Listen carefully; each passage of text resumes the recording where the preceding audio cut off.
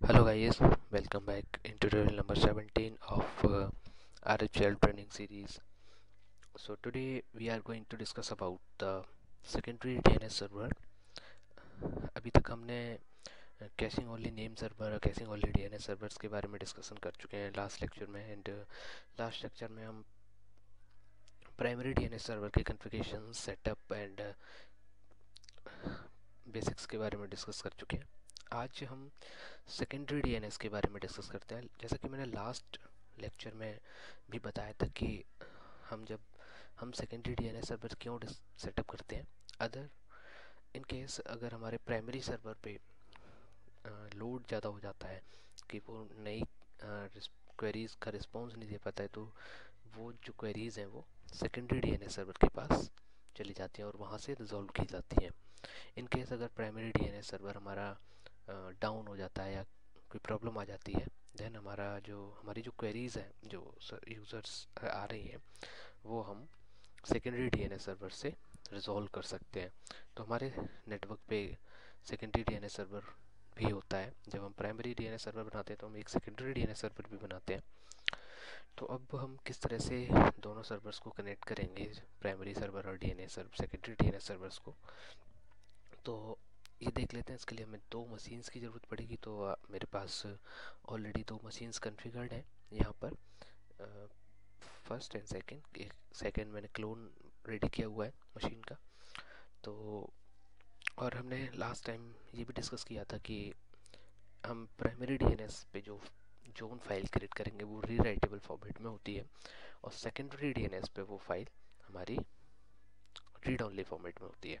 जब भी हम प्राइमरी डीएनएस पे जोन फ़ाइल में एंट्री करेंगे तो हम वहाँ पे सीरियल नंबर एक इंक्रीज कर देते हैं। जिससे कि हमारे सेकेंडरी डीएनएस सर्वर को ये इन्फॉर्मेशन हो जाती है कि किसी जोन फ़ाइल में हमारी अपडेशन हुई है। और सेकेंडरी जो प्राइमरी डीएनएस सर्वर है, वो सेकेंडरी डीएनएस सर्वर पे उसको रेप्लिकेट कर देता है। और जिससे कि सेकेंडरी डीएनएस सर्वर के पास भी उन सारे के सारे चेंजेस की इन्फॉर्मेशन हो जाती है। तो लेट्स सी कि हम किस तरह से आ, ये जो सेकेंडरी डीएनएस सर्वर को कॉन्फ़िगर कर सकते हैं प्राइमरी डीएनएस सर्वर के साथ। तो सेकेंडरी सर्वर कॉन्फ़िगर करने के लिए हमारी फ़र्स्ट रिक्वायरमेंट जो है वो है कि हमारे पास प्राइमरी सर्वर जो है सेटअप होना चाहिए। हम directly secondary DNS server configure नहीं कर सकते। हमें उससे पहले primary server primary DNS server configure करना पड़ेगा। तो उसकी फ़र्स्ट रिक्वायरमेंट है कि हमारे पास प्राइमरी डीएनएस सर्वर होना चाहिए। ओके तो बस जो डीएनएस है डीएनएस की सबसे पहले जो एंट्री है, वो P I M slash E T C slash name dot conf के अंदर हमें चेंजेस करने पड़ेंगे। तो हम, हमारे जो यूमी डॉट कॉम के लिए हमारी जो एंट्री है, वो हम प्राइमरी और सेकेंडरी कन्वर्ट करना चाहिए तो जी दिस इज़ हमारा, ये जो हमारा है, ये हमारा प्राइमरी सर्वर है ओके तो हम इसके लिए एक सेकेंडरी सर्वर क्रिएट करते हैं। सेकेंडरी सर्वर पे हमें इसकी एंट्रीज करनी पड़ेंगी। सेकेंडरी सर्वर पे आ जाते हैं। सेकेंडरी सर्वर पे हमें इसके लिए यम इंस्टॉल बाइंड एस्ट्रिक करना पड़ेगा।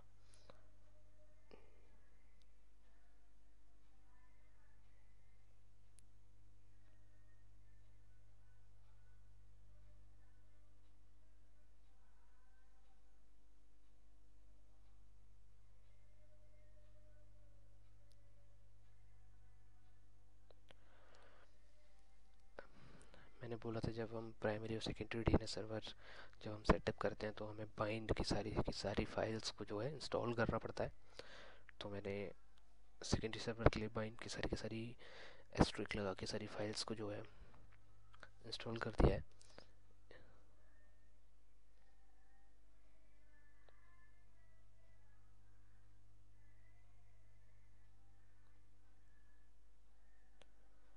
Okay okay. यहाँ पे पाइन जो है इंस्टॉल हो गया है। ओके कन्फिगर्ड सक्सेसफुली नाउ जब हम प्राइमरी ये हम, यहाँ पर हम अपना सेकेंडरी सर्वर जो है सेटअप कर रहे हैं तो सबसे पहले हमें मेन कन्फिग्रेशन फ़ाइल में चेंजेस करने होंगे। तो मेन कन्फिग्रेशन फ़ाइल में हम जाते हैं और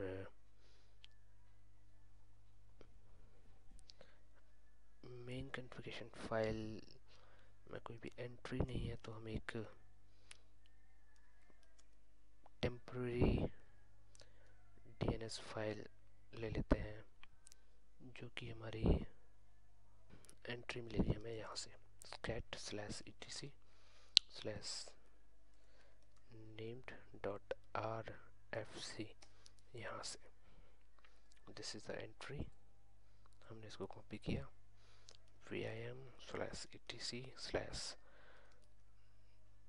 name dot conf okay यहाँ पे हम के ये एंट्रीज हमें पेस्ट करनी है। हमने पेस्ट कर दी। और हमें ये करनी है किसके लिए? You me hacker dot com के लिए।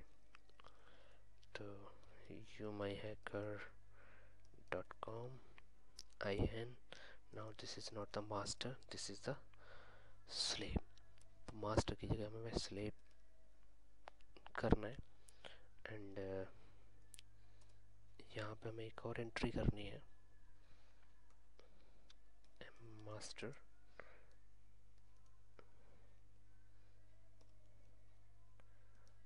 मास्टर में हमें इसका आईपी देना है। 192.168.9.129 okay is the primary server and uh, इसकी जो फ़ाइल है वो यूमाइका डॉट कॉम होगी जो कि ऑटोमेटिकली क्रिएट होगी। अलाउ अपडेट नन और हम जो है लिसन पोर्ट बंद कर देते हैं लिसन पोर्ट बंद कर देते हैं अलाउ को रिएस्ट कर देते हैं।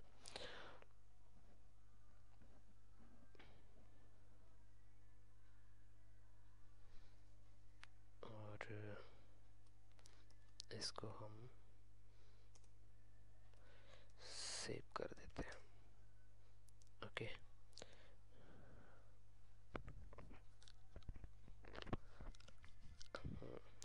एंट्री और रह गई हमारी। हमें यहाँ पे लिशन पोर्ट में इनको ऑन करना पड़ेगा। और इसकी जगह पर हमें एंट्री देनी पड़ेगी। 192.168.9.129 ओके इस नाउ हम जो है इसको बंद कर देते हैं। And service named restart failed. Unknown option, master. Service में एक एरर आई। मास्टर्स नाम का कोई ऑप्शन नहीं है तो हमें फिर से इस फ़ाइल को एडिट करना पड़ेगा। 129 हमने यहाँ पे एंट्री सही की है। And oh this is not the master this is the masters okay and हम अपनी इस फ़ाइल को जो है कमेंट कर सकते हैं। नो हम इसको जो है, अब हम अपनी सर्विस को रिस्टार्ट कर सकते हैं। रिस्टार्ट हो गई हमारी सर्विसेज़ सक्सेसफुली नाउ हमारे सेकेंडरी सर्वर के पास सेकेंडरी डी सर्वर के पास ये इन्फॉर्मेशन है कि हमारा प्राइमरी सर्वर कहाँ पर अवेलेबल है। लेकिन हमारे प्राइमरी सर्वर के पास ये इन्फॉर्मेशन नहीं है कि हमारा सेकेंडरी सर्वर कहाँ पर है। तो हमें सेकेंडरी सर्वर और इसे बताना पड़ेगा। तो उसके लिए हमें एंट्री करनी पड़ेगी। वी आई एम तो हमने जो 130 डाला हुआ है, हम चेक कर लेते हैं। यहाँ पे इफ़ कॉन्फ़िग 128 है आईपी तो हमें यहाँ पर आई आईपी 128 करना पड़ेगा।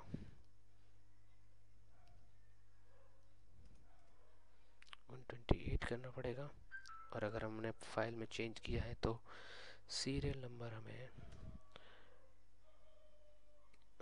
इंक्रीज करना पड़ेगा। And W Q service named reload service reload हो गई हमने रन का देख लिया। सेंडिंग नोटिफिकेशंस हो गई सक्सेसफुली लोड हो गया। ओके अभी अभी एक चेंज हुआ है, देखते हैं सर सेकेंडरी डीएनएस के पास इंफॉर्मेशन आई है या नहीं। तो अभी हम डेस्कटॉप पर हैं, हमें पहले स्लैश वॉर स्लैश नेम्ड के अंदर जाना पड़ेगा। एल एस यहाँ पे हमें cat data okay sending notification transfer complete from 192.199 देखिए ट्रांसफ़र हो गया कंप्लीट सारे के सारे रिकॉर्ड्स आ गए हमारे पास। सो आई होप आपको सेकेंडरी डीएनएस सर्वर समझ में आया होगा। So thank you thank you for watching my videos. Bye bye take care and subscribe me